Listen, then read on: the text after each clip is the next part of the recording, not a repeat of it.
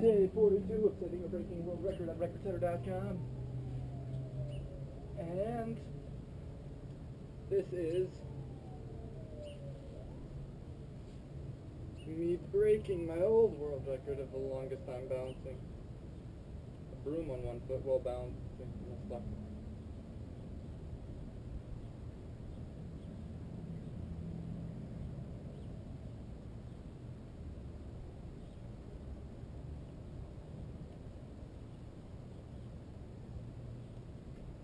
Alright! I got way better at that!